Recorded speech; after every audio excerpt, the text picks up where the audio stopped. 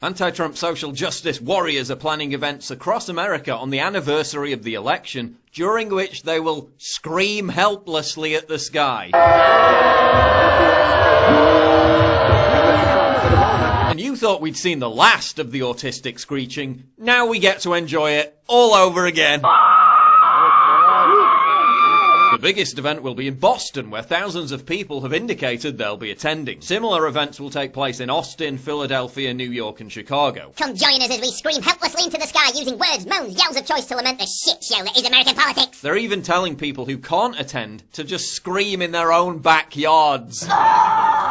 but the attendees themselves are excited. I intend to scream begging for help at the this is awesome. I'll be screaming helplessly at the sky in California. Hard to believe this nightmare has lasted this long. We can have a yelling parade from the park to the Capitol. This needs to be global, please. What's the hashtag so we can get this trending? This is the greatest Facebook event I've ever seen. And to illustrate how sensitive these snowflakes are, one of them got triggered by the fact that the organisers chose to illustrate the Facebook event page with a picture of white men. Why is the cover picture seemingly a bunch of white men screaming? Who cares? It's 2017. If you don't understand that representation matters, then you are part of the problem. They even identified with the screaming woman who became a living meme after the inauguration.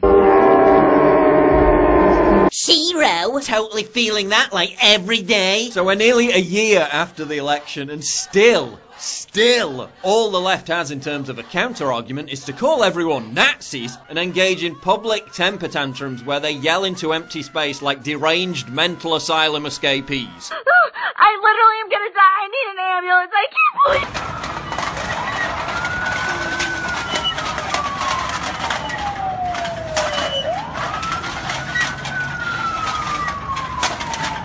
Yeah, good luck attracting voters with that platform. And no, this is not fake. Although people have started creating fake identical events to troll them, the organisers of the original event in Boston are both anti-Trump activists. This is actually happening. People all over the country are arranging their own autistic screeching hissy fits. And please, don't tell them how stupid this is gonna look because I can't wait to use the footage. It could literally be the best video I ever make. Also, it's gonna look pretty damn good in those Trump 2020 campaign ads too, so shh.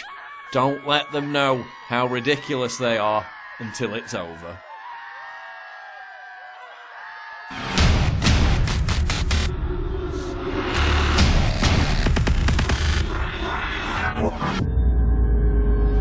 Please click the big red button to subscribe. It really helps me when you do that. And click the bell to allow notifications so you never miss a new video.